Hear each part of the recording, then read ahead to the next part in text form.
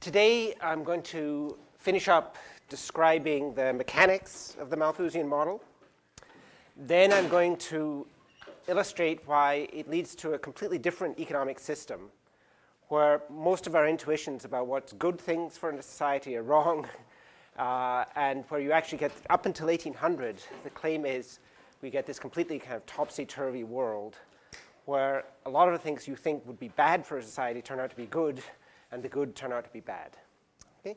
And then once I've done that, I'm going to go on and start on chapter three and start describing empirically. This so far is just a model. It's a picture about how the world should have operated.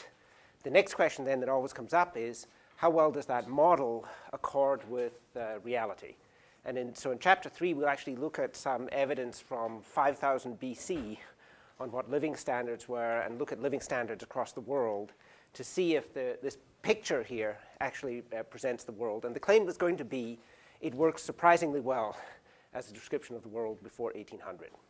So what were the last things we had to do in terms of laying out this model?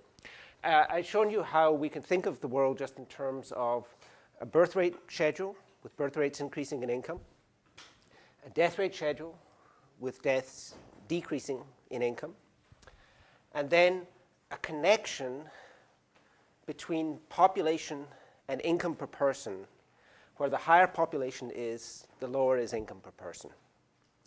And then what we see in this world is that if we want to increase living standards, then it has nothing to do with the production technology in the society. Living standards here are determined totally by birth rates and death rates. There's nothing that we can alter about the production technology that in this Malthusian world will actually change living standards. And so it turns out the way that we can most easily see how to improve living standards is simply by reducing the birth rate at all standards of income. That will have two effects. One is it'll push this equilibrium in this direction here towards the right, and that will increase material living standards. But secondly, because life expectancy is the inverse of the birth rate, it'll also increase living life expectancy in these societies, right? And so that part actually fits with our normal intuitions, and that all seems to work fine.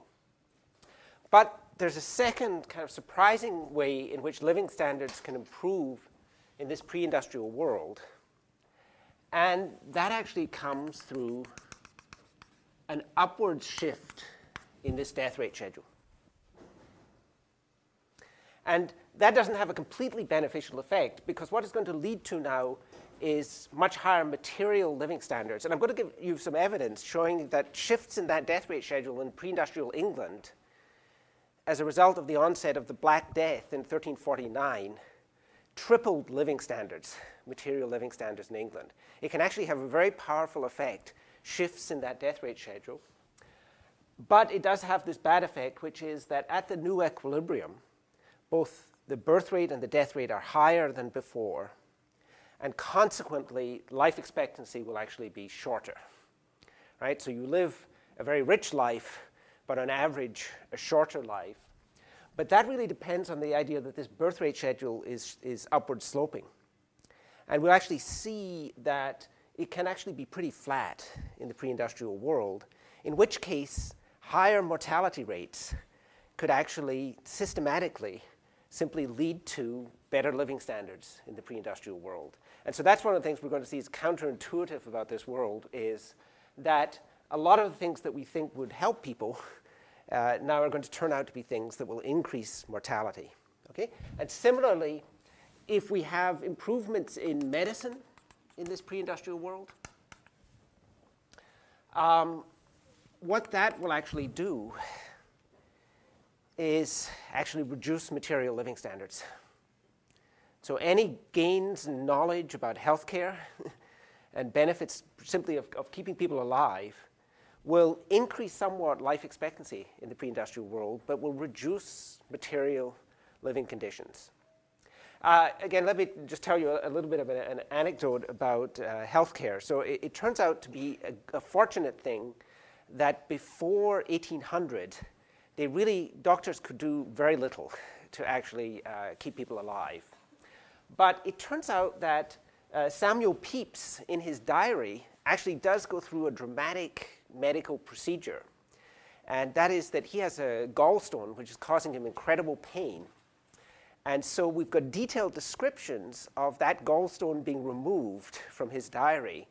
And what's amazing is that they use no anesthesia. Uh, and uh, the surgeon actually came himself and two big, strong men. And their purpose was to hold, keep the screaming patient still uh, while the procedure was, was undertaken. It's amazing that that pain was enough to actually persuade Pepys that he really was going to do this. And the other thing that I had actually imagined was that, that they would use alcohol and as, an, as an anesthesia. They would just get you blind drunk. It turns out that they believed that you should not do that. There should be absolutely no alcohol because they believed it would actually increase the bleeding. Uh, and the way they actually removed uh, the gallstone was to go through uh, between his legs. Uh, and the skill of the surgeon was to get it out in something like 60 seconds or less uh, because then after that there was the risk that the patient would simply die from shock. So they did actually have some medical procedures. Pepys was successfully cured. We have the diaries of that surgeon who operated on him, and he actually succeeded in that operation with all the people he worked on that year in London. The next year, he killed everyone he operated on. And because we believe his instruments got infected, and that consequently everyone he operated on died. Uh, so that it turns out that they did actually, you know, they were exploring medical possibilities here. But it turns out that the major things that killed people were epidemic diseases, uh, things like tuberculosis, cholera, uh, and stuff like that, which involved uh, uh, uh, bacteria and viruses. They really had, up until 1800, very little defense against. And so consequently, they're really not able to do much in terms of lowering this curve. Okay? Um, so that's the nature of this world. And one of the things that emerges kind of immediately is that one of the additional readings I gave on chapter one was this article by Jared Diamond, who argued that agriculture and the invention of agriculture in the Neolithic, settled agriculture, was actually going to make people worse off than they'd been in hunter gatherer society. And what you can actually do in terms of thinking about these curves is see that it's not at all obvious what the effects of agriculture will be. Because agriculture is going to actually have two systematic effects. One is it's going to increase population densities. And with higher population densities, people are exposed to much more uh, infectious disease. And in that sense, agriculture would actually make people better off materially because it would actually drive up the death rate in these societies. In these small hunter gatherer bands that make infrequent contact with other people, infectious diseases have a hard time maintaining themselves. And so, uh, consequently, the actual arrival of settled agriculture, you would think, would actually drive up uh, death rates uh, within these societies. And we do see in the pre industrial period that the most dangerous places for people in Europe are in the big cities where there's very high concentrations of people. And in somewhere like London, even though it's the richest city in the world in 1800, in the 18th century, it's estimated that it was losing a third of its population each generation, simply because people couldn't maintain themselves in the conditions of London. They were living well, but the disease environment is so bad that London is, in fact, a huge sink of people. There has to be continual huge in-migration from the countryside in England in the pre-industrial period to simply keep replacing the population in London. And it's actually an interesting question to reflect on is, did people in pre-industrial England know that they were making that choice? And that choice essentially was you could go to London and live well, but with high probability leave no children, and also with relatively high probability die young. or you could stay in the countryside and be healthy, but it's boring, there's not a lot of excitement. Uh, and that people actually were making this kind of trade off uh, within uh, pre industrial uh, Europe. And we see the same things in Amsterdam and other cities across Europe that uh, living conditions can actually be very good in some of these places in, in, material terms simply because they're actually chewing up people. They have this very bad disease effect. But uh, in terms of Diamond's argument, that's one effect that we get with sedentary lifestyle. A second effect, though, is that settled agriculture could also reduce the death rate because it allows you to store food and to actually have a store against uh, accident and disaster. And you see with hunter gatherer bands that they basically have no stores of food. They have to live from day to day on what they can find that day. And so they'll go through extended periods of hunger uh, when it's the dry season or the animals are not available or the, the, the stuff that they gather, the fruit that they gather is not available. And it's impossible for them to store against these calamities. Whereas with settled agriculture, now you can actually maintain large stores of food. And so that could have the opposite effect of actually reducing death rates and then consequently reducing living standards. And similarly, in terms of fertility, one of the benefits of sedentary lifestyle is that it's possible to actually increase fertility in those circumstances. Because hunter gatherer bands move every day, they have to achieve a spacing of children. You can't have a child every year because someone's got to carry these young children, and there's a limit to how many you can ca carry.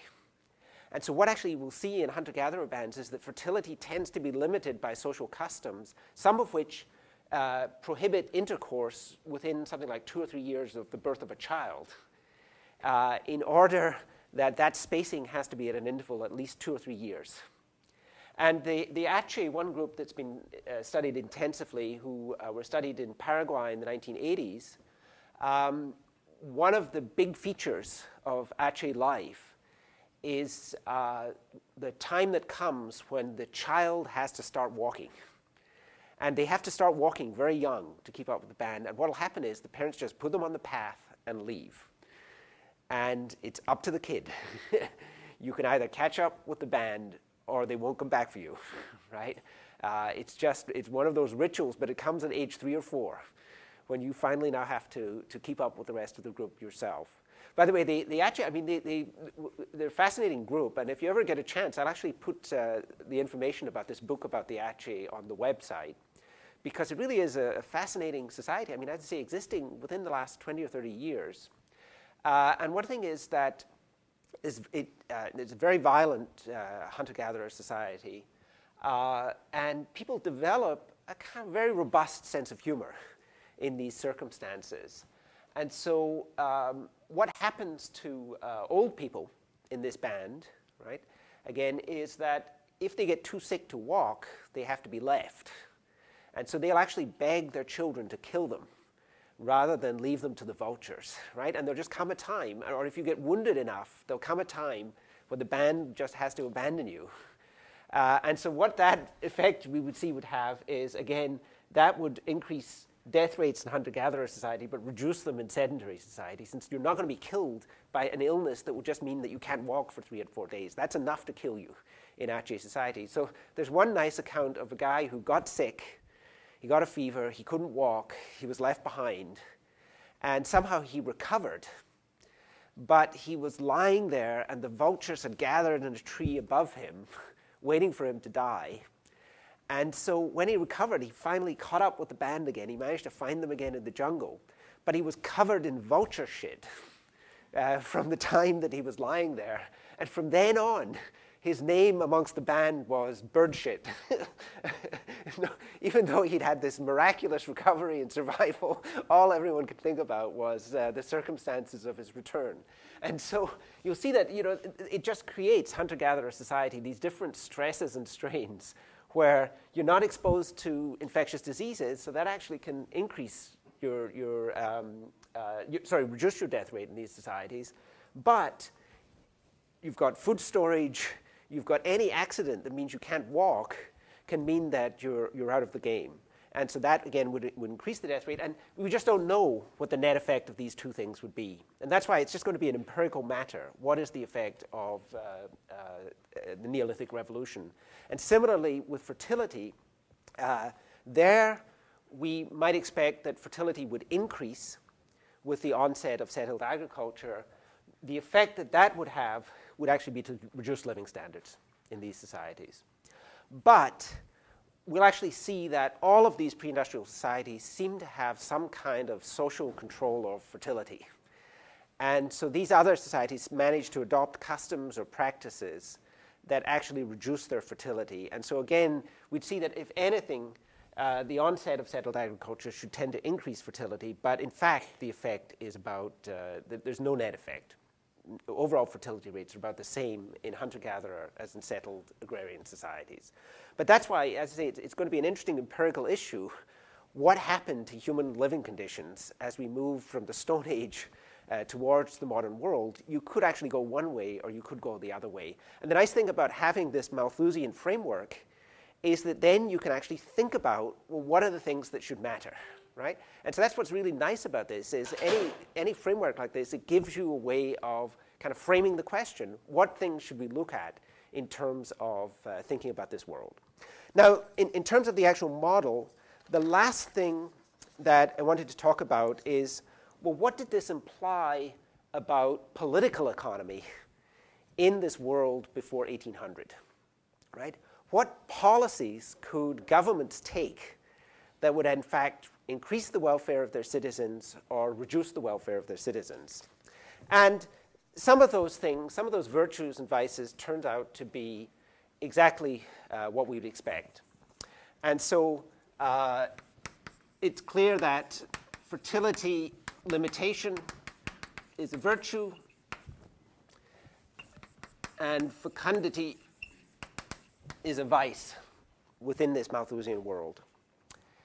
But after that, a lot of things get to be somewhat counterintuitive. So, bad, in terms of living standards, material living standards, bad sanitation is in fact good, and cleanliness is in fact bad. And this actually, we'll see, shows up in, the, in that when I show you the, the evidence on material living conditions, we're going to find that England in 1800 had material living standards about two and a half times those of Japan in 1800. What do we think the major explanation of that difference is going to be, right? In terms of this Malthusian model, it could be differences in fertility, but we'll actually see that they're, they're relatively limited, the differences in fertility. Japan probably has slightly higher fertility than England, but it's pretty limited. And so, in terms of what creates that, it's actually got to be that somehow there's a higher death rate in England at giving living standards, that somehow the Japanese at much lower living standards have roughly the same death rate as the English have at much higher living standards. And the question is, well, what could underlie that? And here, as I say, this is all, it's not known, but it's speculation. Here, what's impressive is that pre industrial Europe seems to have had very poor public sanitation and very poor sanitary practices. And we get a lot of evidence that I've mentioned already with uh, Pepys's diary that uh, we know that the uh, Europeans tended to bathe very little in the pre-industrial era. Though actually, interestingly, an article in the uh, New York Times recently uh, claims that we have become addicted to bathing in modern society in a way that's actually unhealthy. That our bodies are designed not to be washed all the time, and that they actually produce oils that are designed to protect the skin, and that we keep washing these away. Uh, and that, you know, if you think about the hunter gatherer lifestyle, you certainly didn't bathe uh, every day in that uh, lifestyle. Uh, but one thing we know is that uh, Europeans didn't wash, but perhaps more importantly, the disposal of human waste was very poorly arranged in most of Western European society. And so, in big cities like London, what would actually happen is that the householder in the basement would have a pit where all the human waste was gathered. And then it would be emptied by the night soil men uh, at intervals of months or two months or three months.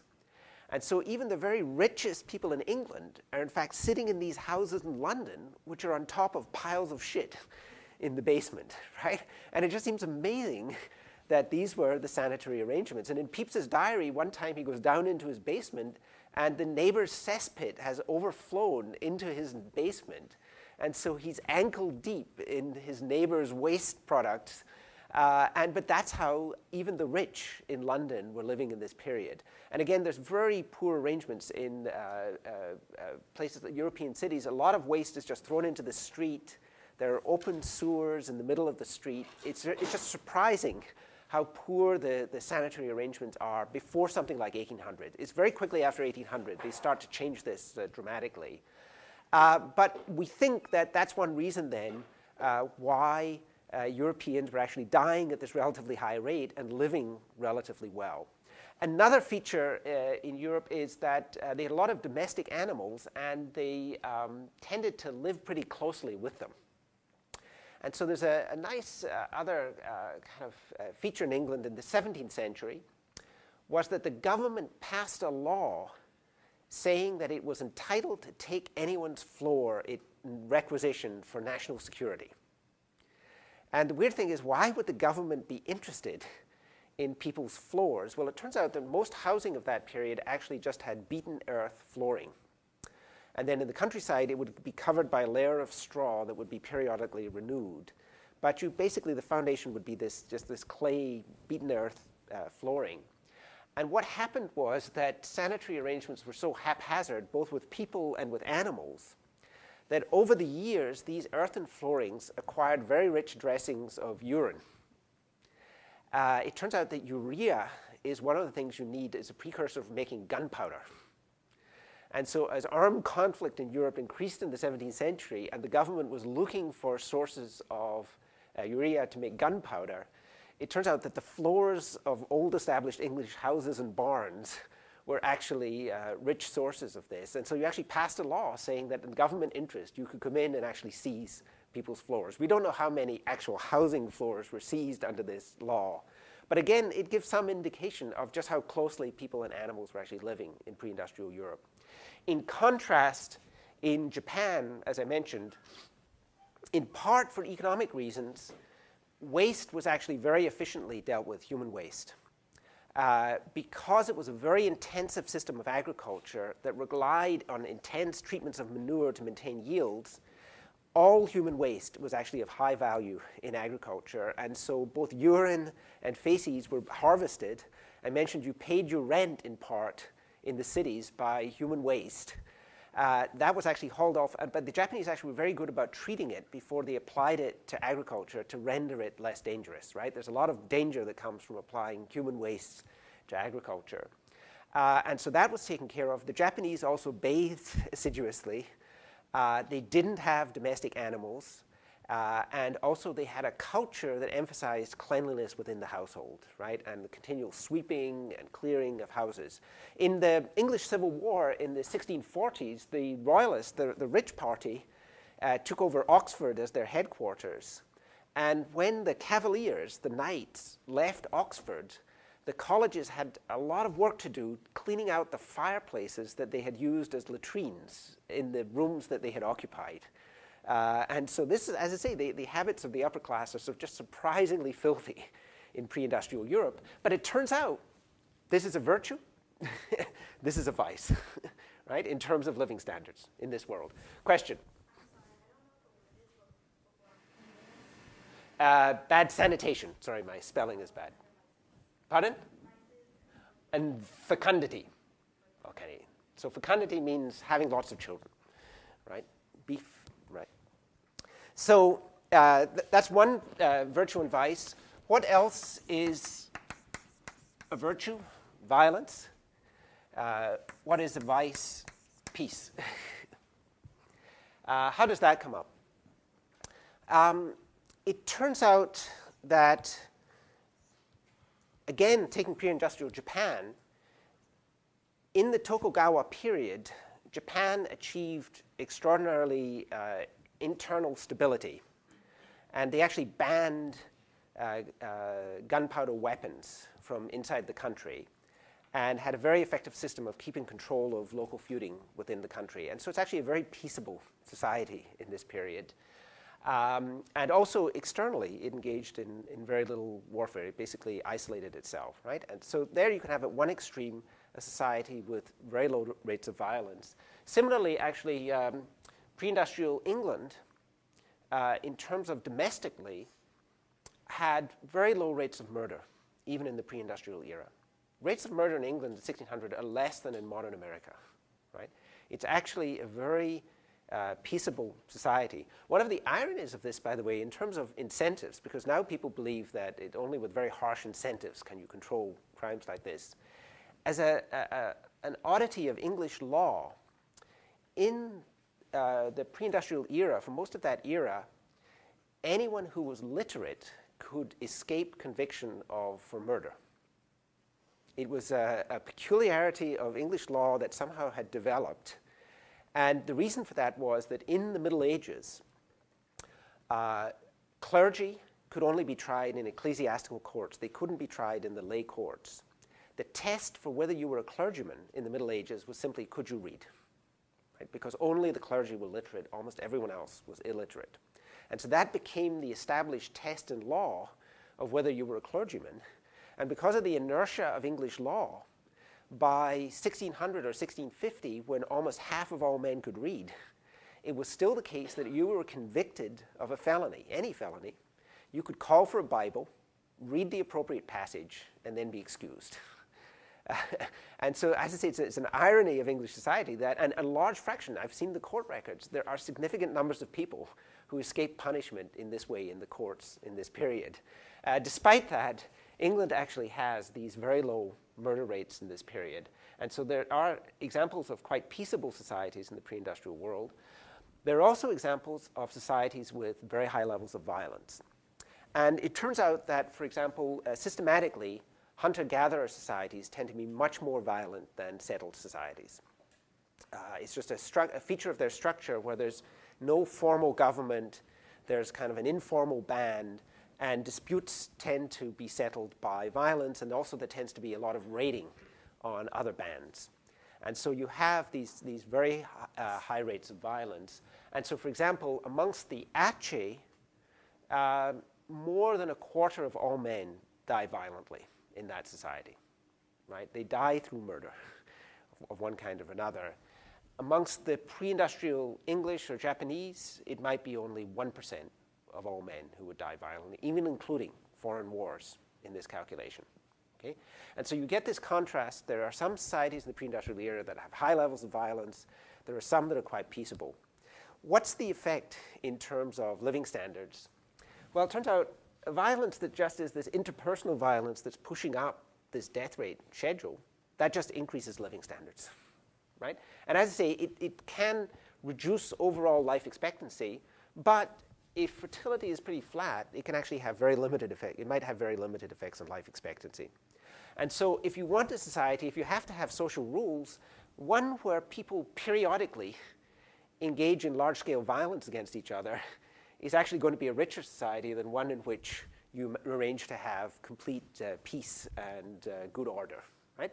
The, by the way, the, one of the reasons the Ache have these high rates of death from violence is that they actually have a kind of very interesting structure where in ordinary day-to-day events, it's impermissible for men to display anger towards each other, right? It's just a social rule. And even over things like uh, infidelity, it's just not permissible to, to call out a conflict in this case. But periodically, the leader of the band, every six months or a year, will call for a club fight and what happens on the day of the club fight is they clear several acres of forest, and all adult males in the band have to show up with a club. And the rule of the club fight is simply anyone can attack anyone, right? And it goes on till everyone has settled every grievance, and then they go back to peace, right? And the, the women actually gather around the edge during the club fight. And of course, you don't know who, you know, since it's not possible in this society to express a lot of irritation normally the question is who's going to, you know, who's going to be after you in the course of the club fight. But what actually happens after that is a lot of marriages are recontracted. So that if you display cowardice in the course of this, uh, you might well end up also losing your spouse in this case. Uh, and there's actually a lot of suffering afterwards because there's a lot of injuries. And then remember, they have to move all the time and hunt all the time. So it's a period of hunger after the club fight because of the injuries. But the question is, well, why do the chiefs call it? And the answer is that it's just fun. Uh, they don't tend to get injured because they're amongst the most powerful people with the most allies. Uh, and it just relieves the monotony of the society to have this uh, periodically. But if you think about this, what is the net effect of this in terms of living standards in this society?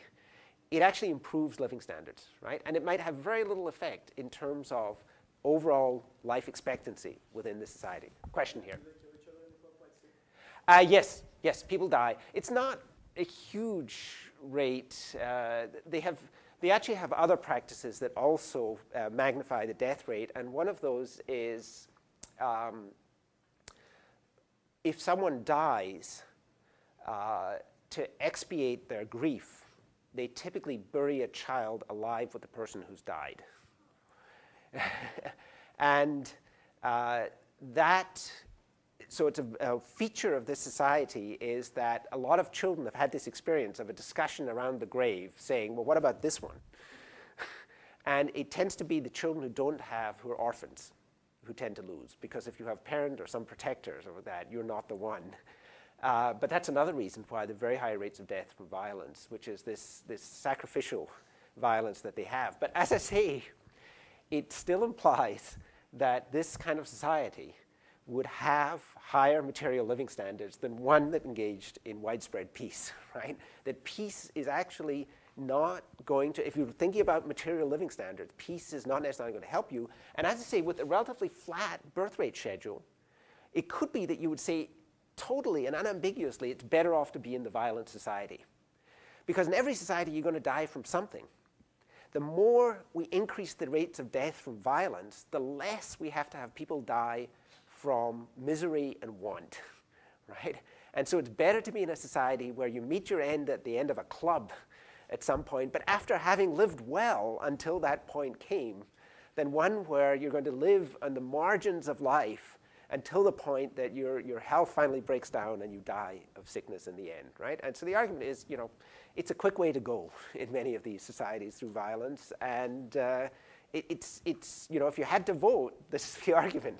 If you had to vote between these societies, the, the argument would be, well, maybe we should actually choose. If I had to send you back now and say, okay, I've got a machine, right? I can either send you to Ache society or I can send you to Japan in 1750. Which do you want to go to? And you would say, well, tell me, what's the rate of violence? T send me to the one that's more violent in that case. There was a question over here.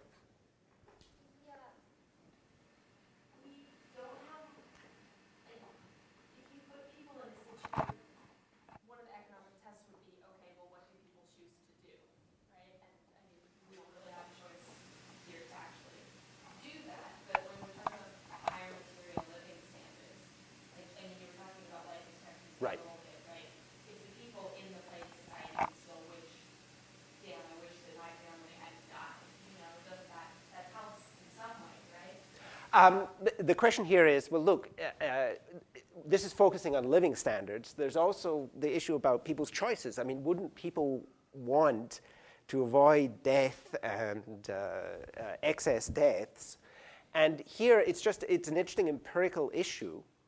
But I did already mention London, for example, in Britain, where there's large-scale immigration into London in each generation of people who must have been very aware that they are actually exposing themselves to much higher uh, uh, death uh, risks, but in return for much better material living conditions. And we also see in the, the case of uh, Europe that companies like the Dutch East India Company sent huge numbers of young men to Asia as part of their colonial exploits. A very large fraction of those men died in Asia because they were exposed to tropical disease environments which are very adverse. But it was a calculated gamble by these guys that if you could go there and survive several years, serve out your term, and get back to the Netherlands, you were going to be set for life. You were going to significantly improve your living conditions. Uh, and so that we, we could actually go back in these societies and actually estimate what's the value that people place on life in these societies, right, compared to material goods. Right? And then it might well turn out to say then, well, in that case, we can say unambiguously given people's own valuation of life expectancy versus material goods, a good government in these societies would try and increase the rate of violence, right? That that would be something that would actually improve the conditions of people in the society, right? Or that a society would agree, We just need a way of actually having the death rate increase through some kind of ritualistic violence uh, within the society, right? So it is an oddity of the society that peace can, and we'll I'll show you when I show you empirical evidence, a very peaceable society like Japan can be associated with astonishingly low living conditions in the pre-industrial era.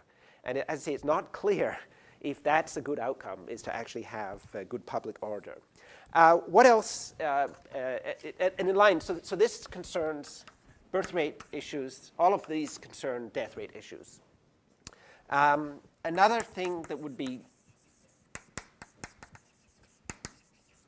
a benefit for the society are periodic harvest failures. Right? Uh, what would be bad would be public granaries. So what happens is that in some of these pre-industrial societies, the government basically left it up to people to take care of themselves when there are these periodic harvest shocks. And so, for example, in Western Europe from 1315 to 17, there was a huge series of harvest failures that killed about 10% of the population. Okay?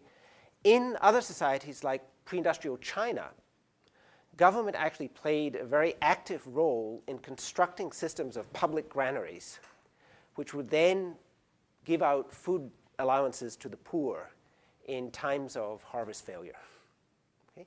And so you had these different responses, a free market solution or one with uh, government intervention. The question is, uh, which society is going to be the one you would prefer to live in? And the argument is, well, a society with the public granaries, what happens then is that the poorest people can actually survive in this society. And consequently, you're actually going to have a lower death rate schedule in that society because if, you know, one year in 10 there's simply no food and only the, the, the better off get to survive, then on average, the, the, the death rate in that society relative to the income is going to be higher if there's this periodic culling of the population through these harvest failures that the government is doing nothing to offset. But in a society where the government actually stores up grain so that this culling effect doesn't occur, then the argument is, again, simply that, well, in that society, uh, more people will survive, living conditions have to go down. Right? And so it's just the exact analog of violence. That in this world, the argument would be there's no point in doing things like offsetting harvest failures because harvest failures are actually improving average living conditions uh, and you're just making the average person worse off in material terms by supplying public granaries. Now, it was this directly was a kind of insight, an insight that entered classical economics. And what actually was happening was that in pre-industrial England, in the 18th century, a very elaborate system of poor relief developed, where English people had a right under law to go to the government if they couldn't support themselves and to get support from the local parish. And so you actually had a, a, legal right, which is actually probably better than in some southern US states now, to actually demand relief from, from the government. And under that law, by 1800 or 1810, even though England's a relatively wealthy country, at least 10% of the population is in fact living year to year uh, using some public support and it becomes a very elaborate system of provision uh, for the poor. And uh, they extend the right and they say that, for example, if you have more than three children, then we take care of all the additional children that you have. If you're sick, if you're unemployed, if you're elderly, that's how people live their lives. And in, in, for poorer people in any society, and this is true of, of modern America, there's a large fraction of the population that has no assets typically 40 or 50% of any society will have absolutely nothing to live on apart from their wage income. What would then happen in these societies is when you got old, if you were lucky enough to survive to your 60s, you can't work anymore. People break down physically. And so if without some kind of public provision like this, either your children have to support you or you're going to, to die. And so what happened in some societies, England in particular, was the development of this elaborate system of support where people expected when they got old, if they were poor, that then the poor relief system would take care of them. And the classical political economists actually argued strongly that this system should be eliminated. Uh, and the argument simply was that it was simply encouraging the fecundity of the poor, driving up the population of the society, and driving down wages for everyone within the society. And that consequently, what you had to do was to eliminate these kinds of provisions that would actually increase fertility of the poor or allow the poor to support themselves in this way. Okay?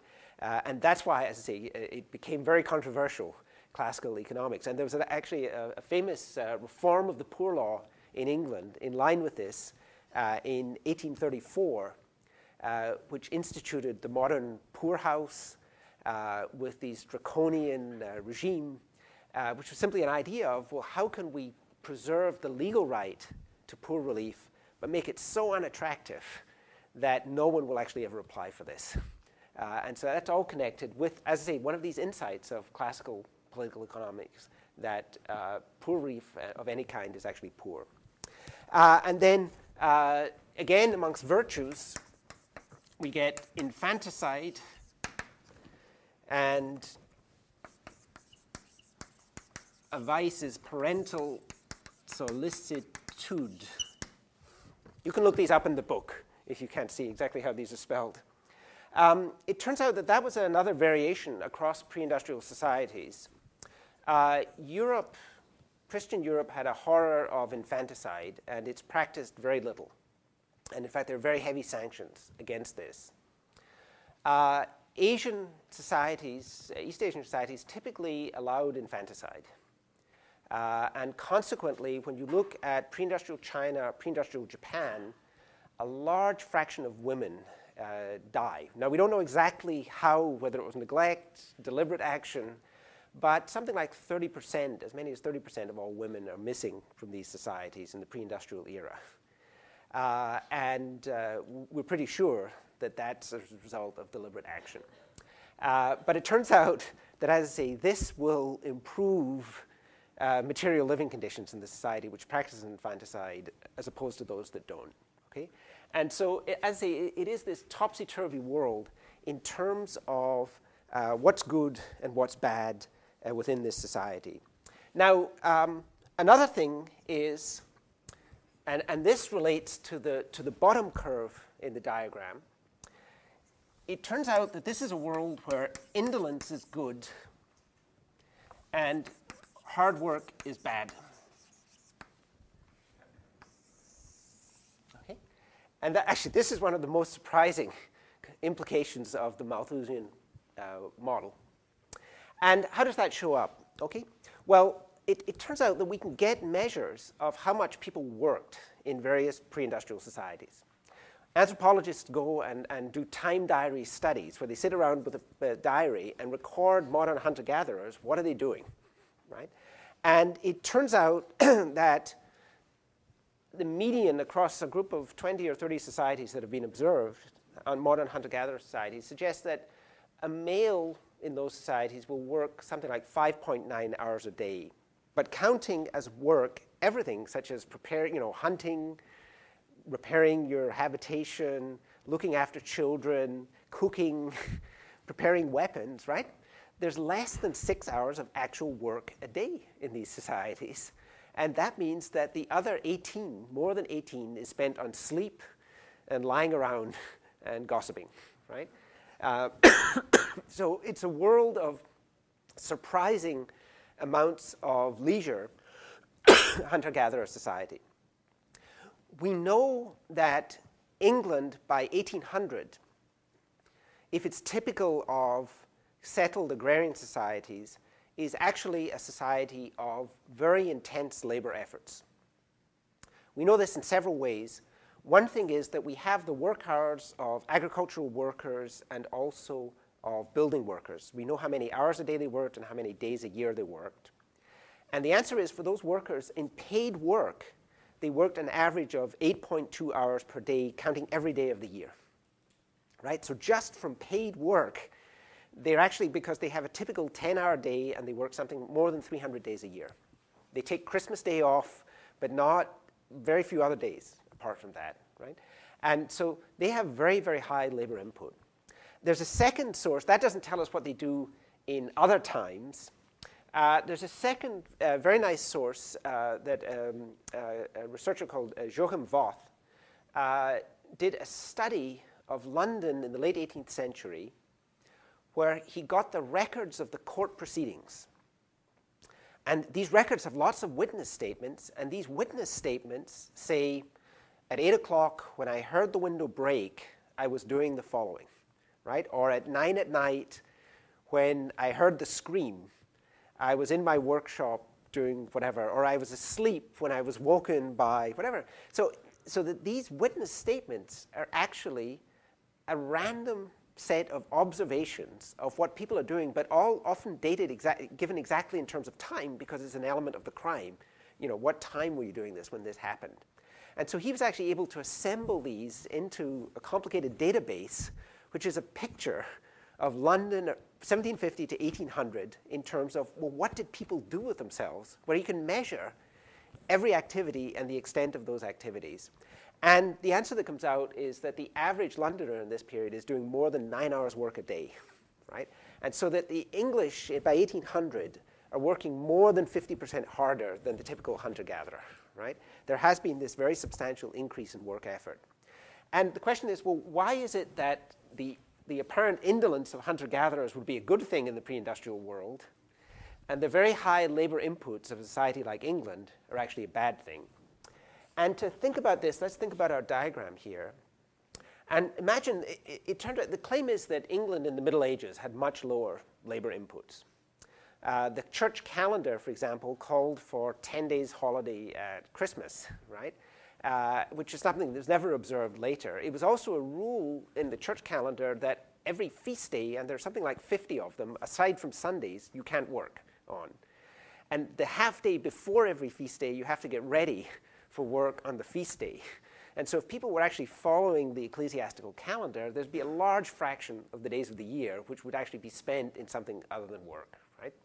And so the claim has been made that uh, if we go from the medieval period to the modern period, there's actually a big increase in labor inputs. Why would this be a bad thing for the society?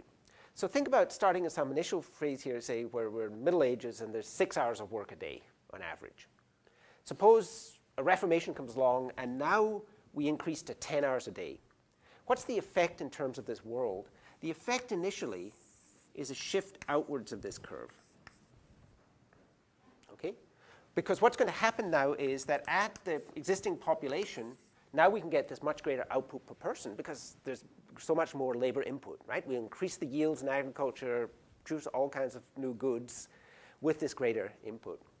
But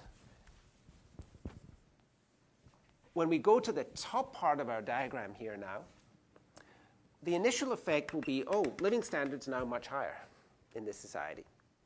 But that's not an equilibrium anymore because now birth rates exceed death rates. Population has to start increasing. We start moving along this curve here. Eventually, by the time the process is finished, we've actually just moved up here. So what's the result of this massive increase in labor input in the society. Material living standards are the same as they were before. Life expectancy is the same as it was before because birth rates and death rates are the same as they were before. The population has increased substantially. But, no one, but now everyone's having to work 10 hours a day in order to get the subsistence as opposed to six hours a day. So the conclusion then would be you could actually create a society where if you eliminated the possibilities of work, you would reduce the population, but you wouldn't change material circumstances. That leisure is just an unambiguously good thing in this pre-industrial world, that hunter-gatherers somehow, by managing to have a social structure that leads to this indolence, are actually better off than if they were all out there working for 10 hours a day, right? That indolence is just good in this world, and hard work is bad. You just end up with miserable conditions having to work harder and harder. And in fact, if people compete and then go up to 12 hours or 15 hours, you would just end up with higher population, but more and more people living on this margin. Okay? And so that is actually, as I say, one of the most surprising implications of this Malthusian model. It's that uh, indolence is actually a good thing. The next thing I'm going to show you is taxation turns out to be a good thing as well. in this world. Taxation, in order that the king can spend on luxuries, turns out to be a plus in this society as opposed to a negative. But I, will have to show that uh, on Wednesday. Okay, we're done.